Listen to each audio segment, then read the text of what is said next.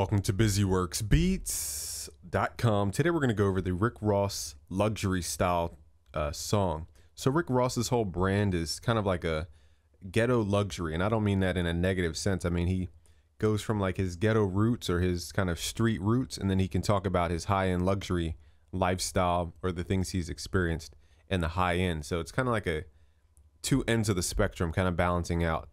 Um, so to get that kind of sound, you want to think jazzy. You want to think very elegant sound selection.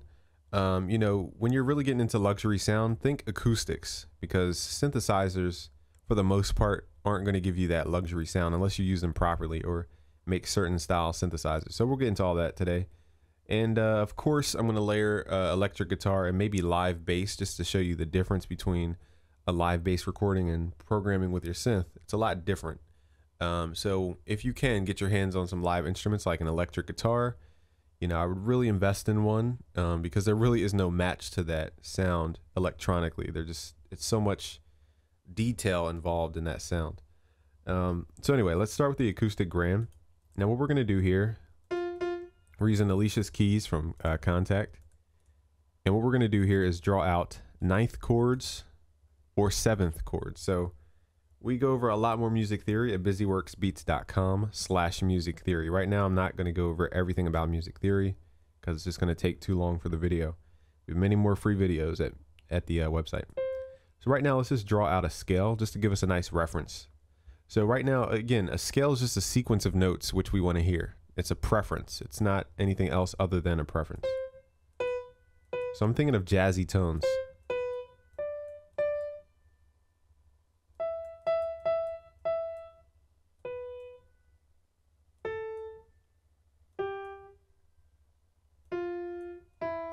So this is the scale, just the sequence of notes I want to hear. Now we can we can name it later. Nomenclature is not that big of a deal. Okay, but slide it down. Unless you're a session mu musician who needs to memorize a whole bunch of scales and keys, you're not going to need to memorize a lot of stuff when it comes to writing out your own scale. But anyway, here's the scale, and let's just duplicate that into different uh, uh, octaves. So now it's going to give us a better reference as to which notes we can actually use for our chords. I'm going to duplicate it one more time so we get a nice big spectrum. And uh, let me save this.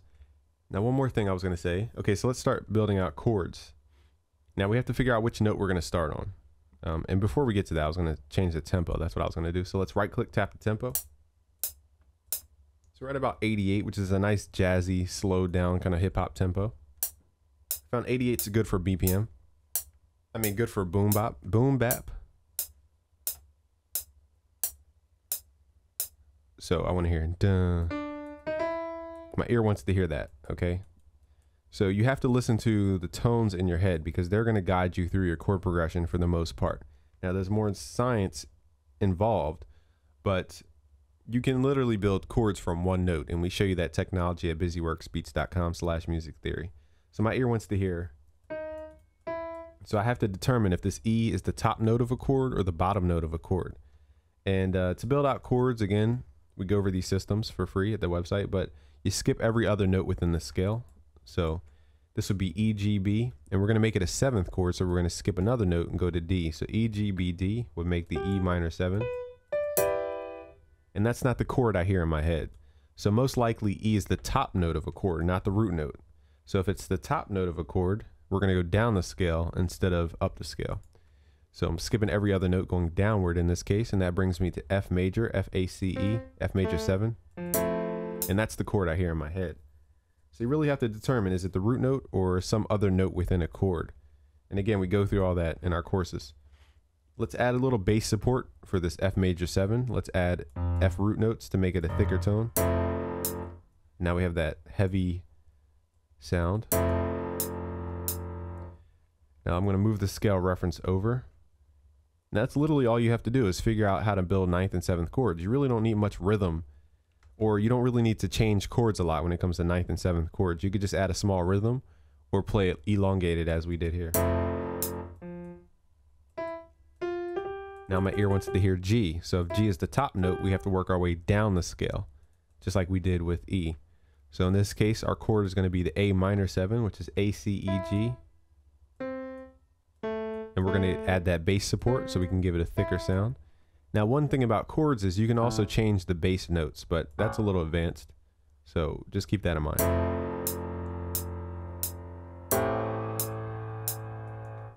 Then I want to hear, dun. want to hear the note B. So let's work backwards from B. B, G, E, C. So we have C major 7, C, E, G, B. And then we want to add those bass notes. I think I'm skipping an octave. Four? No, I'm not. Okay.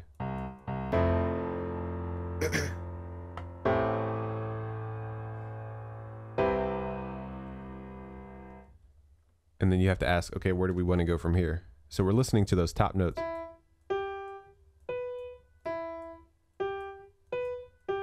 My ear wants to hear that G again. So let's add that G chord in. Now, instead of playing the same exact chord, one thing you could do is actually change the chord uh, underneath the top note that you want to hear. So right now, I'm just going to draw out the A minor chord. But let's say you wanted to hear the same tone up top, but just have a different chord, just to kind of change your chords up a bit. Um, you could change your chords. So, for example, instead of playing A minor as the root chord, you could play F major, for example, F A C, and then still maintain that top note E or G. Now, in theory, we have something called a ninth chord. So that would really just make this an F major ninth, omitting the seventh, it's called. So I don't want to confuse it with so much technology because you don't know everything about music theory yet. That's what we have courses for. Um, so this is F A C, and then if we skip D, it would be E, and if we skip F, it would be G. So technically, we're omitting one of the notes that we could possibly use. So that's what we're doing in this case. So in theory, this would we would just transform the the we were at the A minor seventh chord. Now we're going to expand it to the F minor ninth or F major ninth, omitting the seventh. So if that's confusing, again, I don't I don't know how many times I could say this. There's more information at busyworksbeats.com for free busyworksbeats.com slash music theory.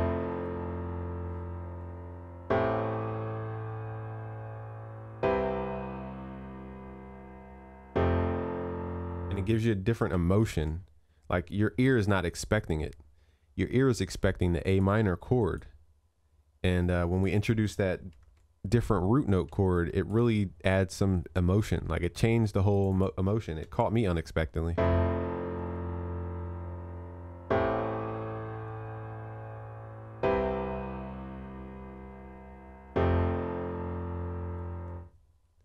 So that's what we're doing here. Okay. So we're taking the F, the A minor, dropping it down to an F major chord as the root chord.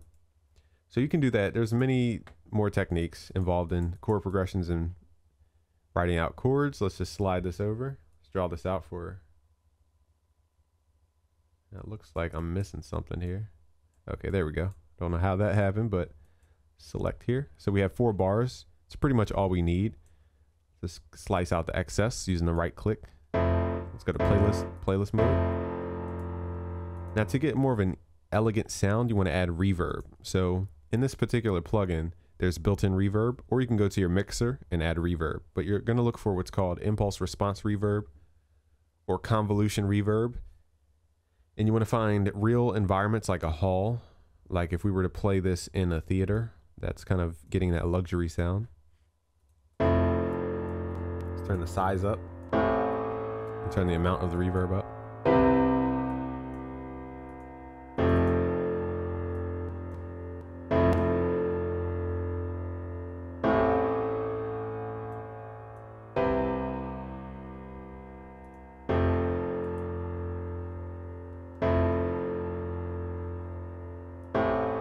Okay, so now you have the main chord progression. Now we can start adding other elements.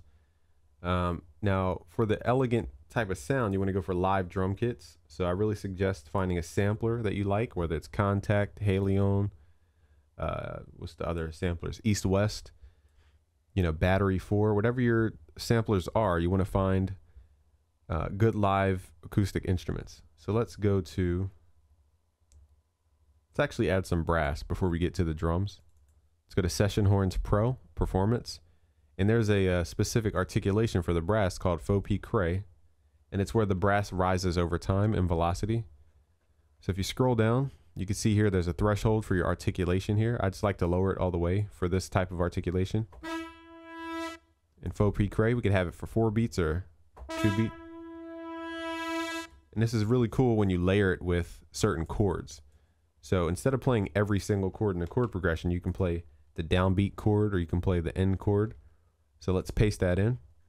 So here are all the chords together just to give you an idea of what it would sound like. Now, the samples are still loading up, so it's kind of rusty now, but I would also get rid of the bass tones. Delete those.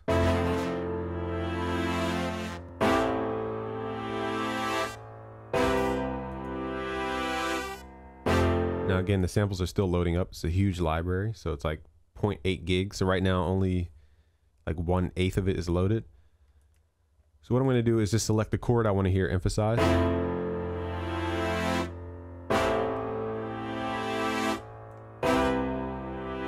I want to hear the highest chord used emphasized. So that's what you do. You play those seventh and ninth chords with the brass as well to emphasize those chords. So I only played the third chord because it's the highest reaching chord as far as frequency. So that's why I emphasized it. Let's add another instance of Kontakt. And let's open up the drum kit. Now you can go to any drum kit you like with live drums. I like to use the Studio Drummer. Let's go to Session. So it's like we're in a little studio. And uh, we can go through the different mixer presets, etc. Now the drums, you know, you could spend more time making them more, you know, more unique. I'm not trying to make this video an hour for no reason. So let's right click, go to piano roll. I'm just going to show you the, the core fundamental things you need to have in your drum pattern, which is the kick pattern. It needs to be a hip hop rhythm. So just as long as you follow along with this rhythm, you should be good. So it goes boom. Ch. So the hip hop pattern is boom, boom, ch, boom, boom, ch, boom, boom, ch, boom, boom. Ch. That's just the hip hop pattern. Uh, so it's been used for years because it works. So go boom.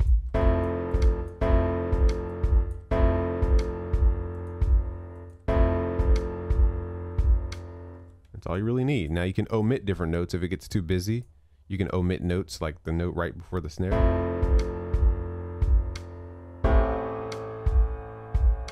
Just to make it a little more lightweight and softer. But again, you want to have different variations as you go throughout your song. You don't want to use the same thing over and over and over again. Now for me, I can hear the subwoofer, but over the headphones, it, the drums might sound weak. So you might want to switch out the kick for a more modern kick. And for that, I like to go to busyworksbeats.com, load up the X drums, load up a punchy kick. Kick PC is usually good for that kind of Rick Ross sound. And I like to go inside my uh, drums, hit Control X, go to piano roll for the kick, hit Control V. Now you have to make sure the note is on middle C so pull your note to middle C, and now you have the kick.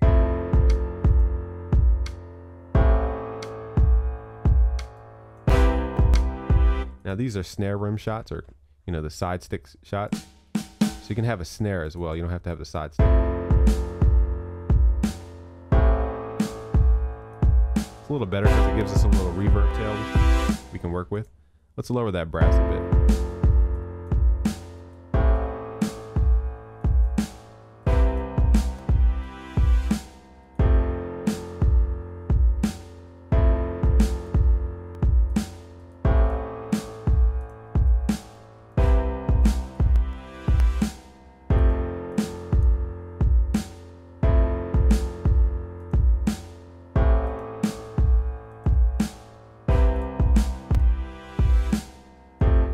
Now let's make it more elegant. Again, guitars would take this to a completely new level, especially if you play live recorded guitar. We're going to add a, a bass and also synthesizers. So let's get the core instruments down and let's add the kind of uh, sparkly stuff later. So once you have the bass, we're pretty much done the fundamental things. Let's open up Scarbee J bass. This is a jazz bass.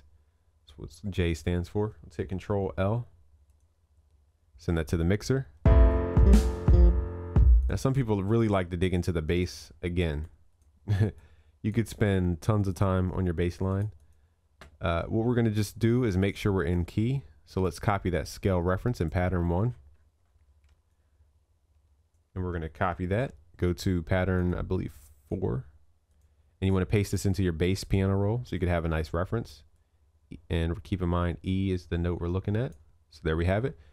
And now let's just program out a nice bass line that accents the drums. So common technique is to follow the kick drum. If you ever get confused with your bass, just follow the kick drum. Treat a bass like a low end portion of the kick drum. That will give you a better idea as to how to program your bass. And if your bass is doing something else, just keep in mind you're using your bass more as a contrast element more than a supportive element. If you make it more like a melody, you know, it's going to have a different function. And again, with guidance, you want to maybe, you know, use your uh, chord progression. So the chords here were, or the notes we're listening to, are E, G, B, G. E, G, B, G. So that's all we have to worry about. We could also use the root notes for the chords if you get confused. So E, G, E, G, B, and then G again. So as long as hmm. we're at least hitting these notes at that point, we'll be fine. Lower the volume a bit, velocity. Now keep in mind, E was the top note of the chord. It's not necessarily the root note. So if you wanted to be purely following the root note, you would start at F. And that actually fits a little bit better. So let's look at the root notes. It goes F, A, C, F. So let's go back to pattern four, change that to F, A, C, F pull that down. There we go.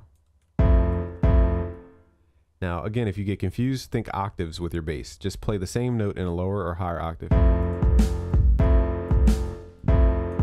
And again, you want to follow that kick drum. So it goes boom, boom, ch.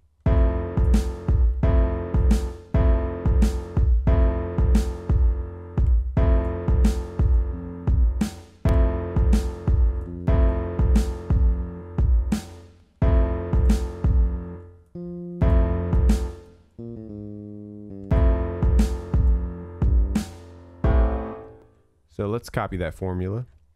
Let's just copy this. We're going to hit shift, left click and drag it over to A in this. Just make sure all the notes are within the scale. You have A and B, which is in the scale. So again, you could take your bass to like level infinity. You, you got to be creative on that part. Try not to overly do anything here. So let's move that to F. So every note is in the scale. And it's the same pattern but we want to make sure that we're following the kick. So right here, there is no kick in the pattern, so it doesn't fit.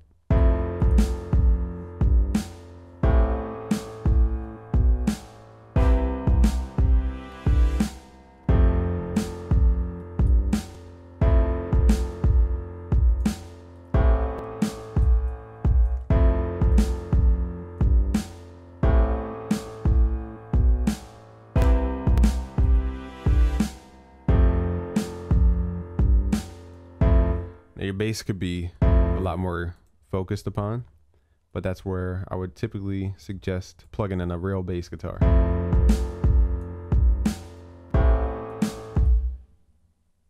I don't know if you could hear my bass guitar, but let me see if I can play over the mic just to give you a better idea of how I would approach it. First, I just find the scale. Let me see if I can position my mic here. All right, I'm not sure if you could hear this, but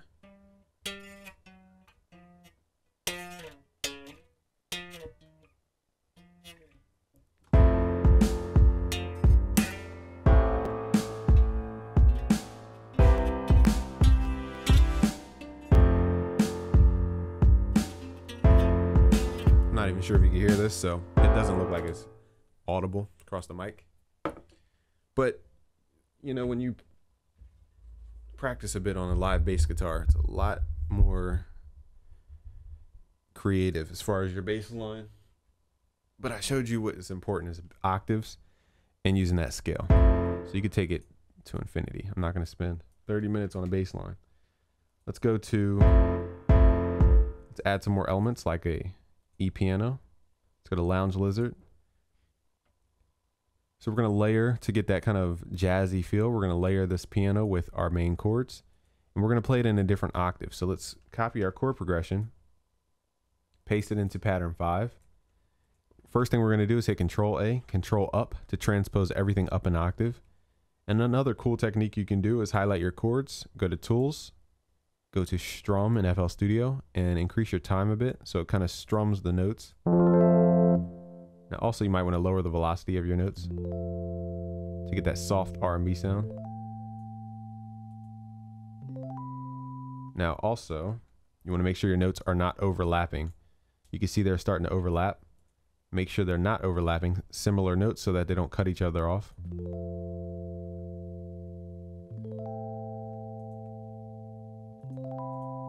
And that adds a more dreamy sound to it. So let's hear it in context. You can barely hear it because the piano is kind of drowning it out. So you could either omit the piano or just lower the piano or turn up the uh.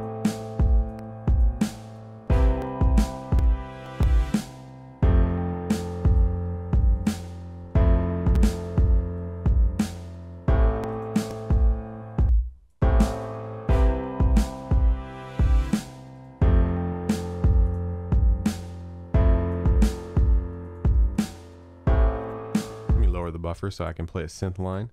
Now at this point, you're going to add your own synth. I'm going to show you one synth that generally works like 90% of the time, especially especially for R&B and that luxury sound. Let's open up Sylenth. Let's go to menu, initialize preset. We're going to use a single sawtooth. Let's go to mono legato, turn portamento up a bit. Give it a little filter. I like to use bandpass just so it's very specific. And just play throughout the scale.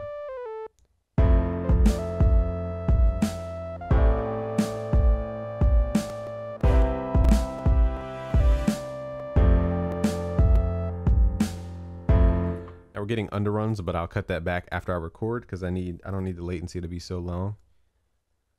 And I'm trying to think. You could add more voices. You could detune it to give you more of an 80 sound. But for this type of sound, I would actually open up the filter a bit more to get that 80s vibe going and add maybe delay and reverb. Give that 80s sound. Let's try this out.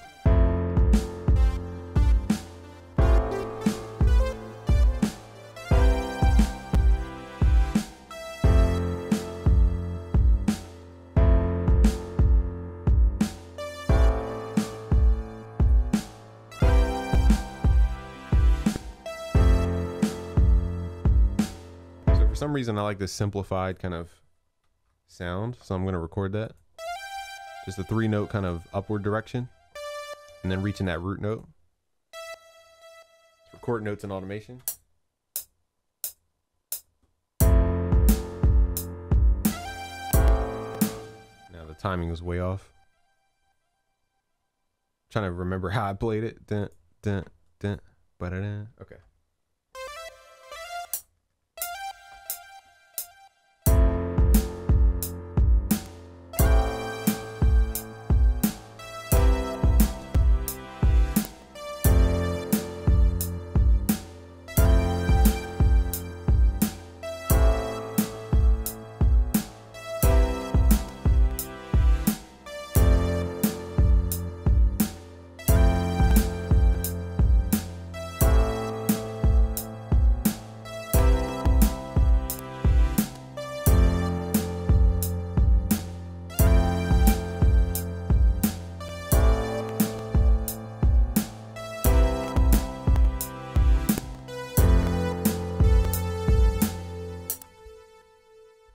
Again, you can nitpick over the, the way I played it or the timing, but I'm trying to keep this video locked. But that's what you do. You add the sparkle stuff later.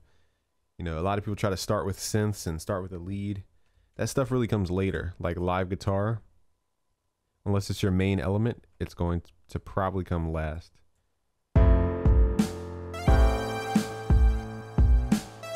I'm just going to quantize all these block notes just so we can have the timing at least close enough hit Alt Q to quantize.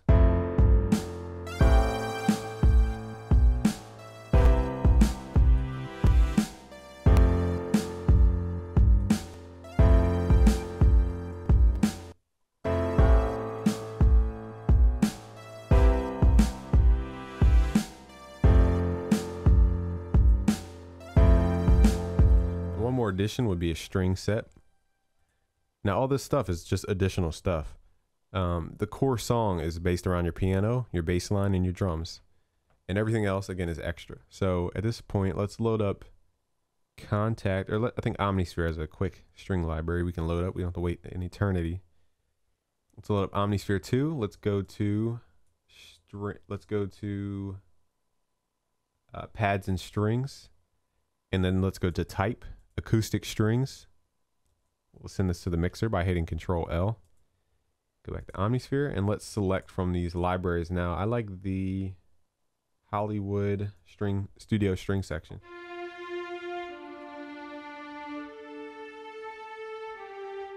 And guess what I'm going to do? Copy the chord progression. But the thing is, you don't want to have so many frequencies fighting for attention. So you want to either move the strings up or down in frequency or octave. So let's move it up an octave and layer it with the piano. And also turn it down.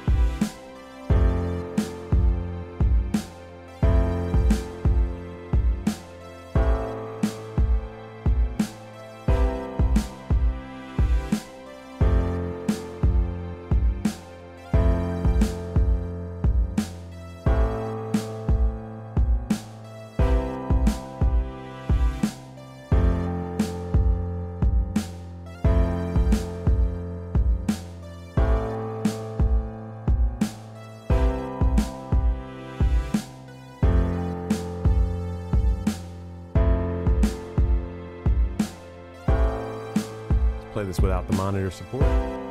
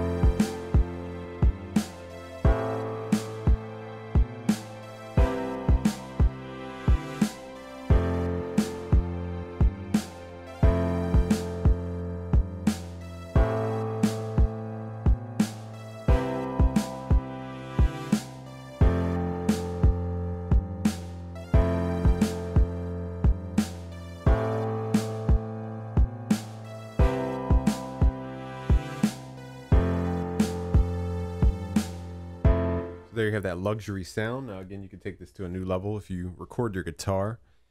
Uh, an electric guitar, an acoustic might work. I'd probably pick an electric and or a live bass. So that's how you would take this to the next level and really think about the extra synths you're adding over top the track. Now, I would typically record a vocal idea and then add all that, you know, instrumentation so you can figure out you know, how to add more stuff without really taking away from the attention of the song, which is the vocal. So really keep that in mind. So if I remember, I will record the live electric guitar over this track to, just to give you an idea of what it would sound like kind of all together and uh and a live bass maybe. So if I have enough time, I'll do that.